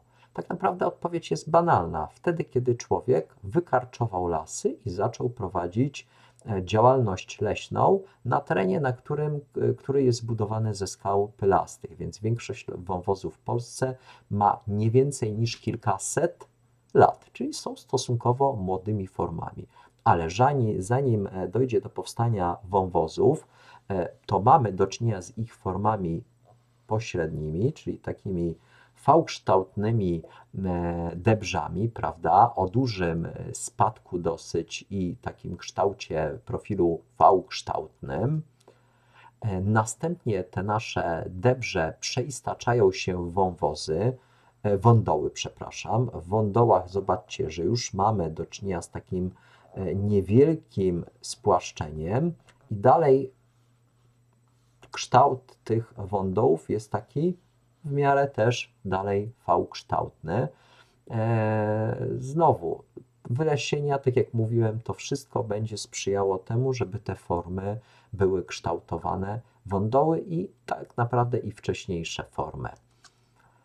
W Karpatach, e, na Lubelszczyźnie mamy wiele takich form. Tam także typowe są wąwozy. E, bardzo często powstają całe łańcuchy wąwozów, które, mm, którymi wody opadowe przemieszczają się, tak samo jak i wądołami, tak samo jak i debrzami tak naprawdę. E, ale tu już cechą charakterystyczną jest to, że mamy spadziste, prawie pod kątem 90 stopni usytuowane zbocza. Ten kąt nachylenia tutaj to jest tak 70, 80, kilka stopni, chociaż miejscami mamy e, przewieszki też widoczne. Mamy w miarę płaskie dno, no i po drugiej stronie też ten kąt nachylenia jest dosyć duży. E, długość wąwozów może wynosić nawet wiele kilometrów, kilku, do, e, mają one długość nawet kilkunastu kilometrów. Głębokość to jest zwykle kilka, kilkanaście metrów. Te najgłębsze wąwozy mają e, do 100 metrów głębokości wąwozy lescowe przede wszystkim, bo one właśnie wycinane są w skałach luźnych i spoistych, takich jak les, bo les, jak e, weźmiemy w rękę, to jest skała, którą możemy utrzymać. To nie jest tak jak piasek, który nam się będzie wypadał, ale jak zaczniemy lekko dusić, to ten les będzie nam się bardzo łatwo e, w rączkach kruci, e, kruszył. I taka pylaste, tego typu pylaste podłuże typowe jest chociażby dla stepów.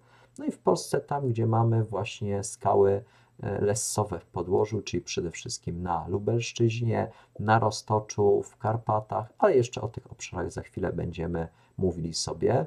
Na pewno rozwijają się one wtedy, kiedy mamy gwałtowne i duże najczęściej opady deszczu.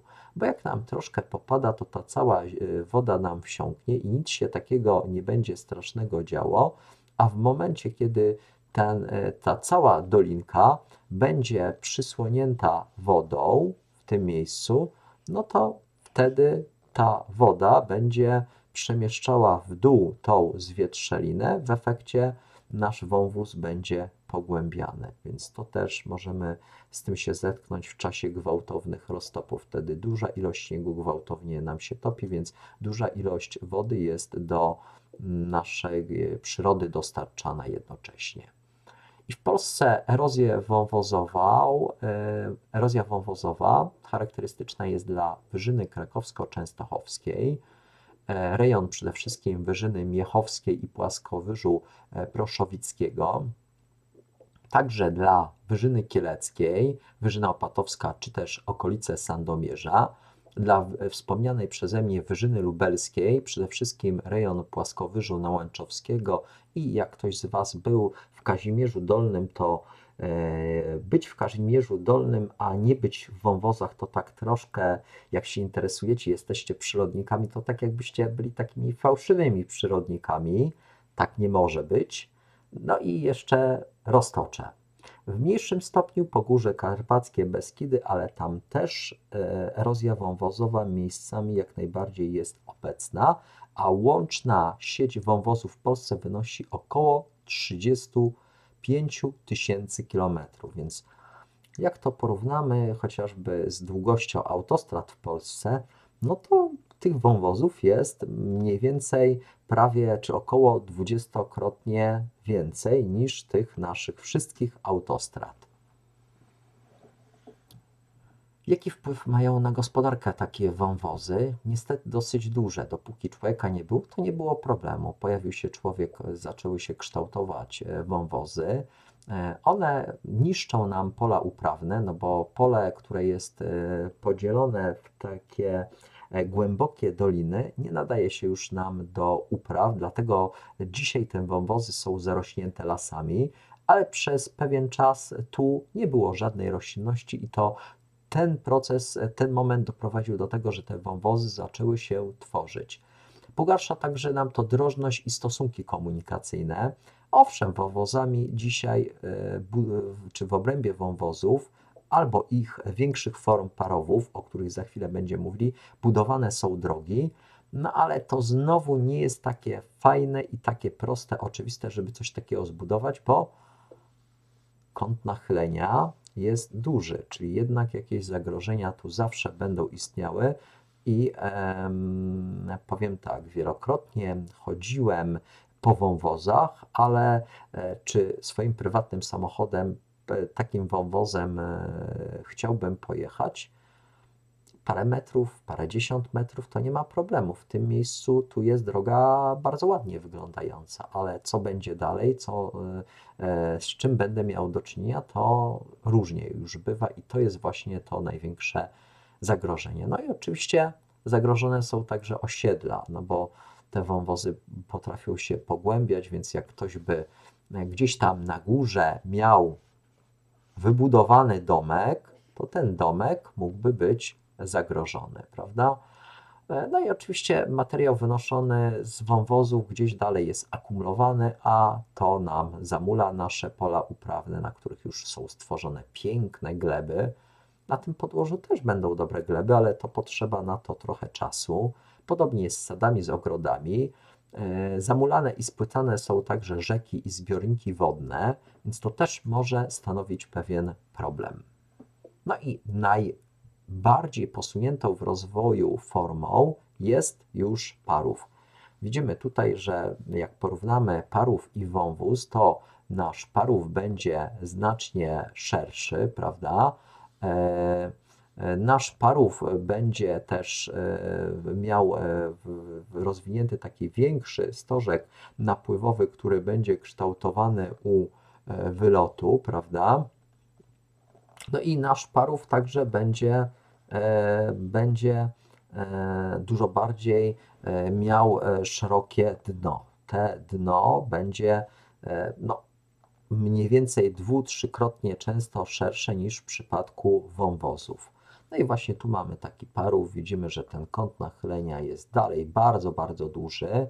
Tu już ten kąt nachylenia bardzo często wynosi 85-90 stopni nawet.